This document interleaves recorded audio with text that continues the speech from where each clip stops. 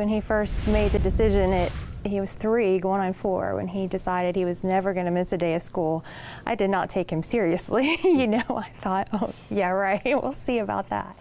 Yeah, well, he showed you, Mom and Dad. Mm-hmm. you think your attendance record in school was pretty good? We talked to one teenager who might put you and all the rest of us to shame. For sure. It took him 13 years to achieve his milestone, and he did it despite some pain and suffering.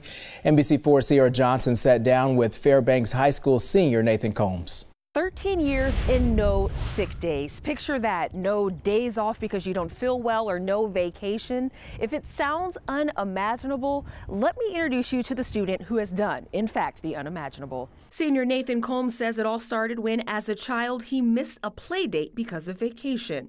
From then on came the goal of never missing school again. We caught up with the teen on, of all days, senior skip day, and he tells us despite breaking both arms as an elementary schooler and even facing concussions, a broken hand, and surgeries as a teen, he's made it to school every day and never left early.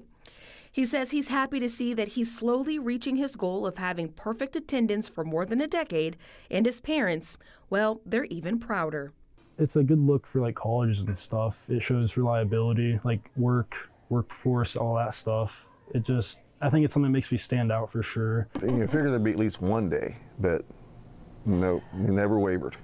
And Nathan tells me he hopes to continue his streak of perfect attendance when he attends Ohio Wesleyan in the fall, but he said he can't make any promises. We're local for you at Fairbanks High School. Sierra Johnson, NBC4. All right. Well, shout out to you, sir. I think that is such a remarkable record and something, I mean, there's no way I can't get through this. I'm, what are we in April? Yeah. I haven't had perfect attendance here yet. I have a hangnail and I thought about staying uh, home today. so kudos to him. Yeah, good for him. Mm-hmm. Congratulations. Mm-hmm. And the 4.4 uh, average isn't bad either. And congrats to mom and dad as well. Yeah.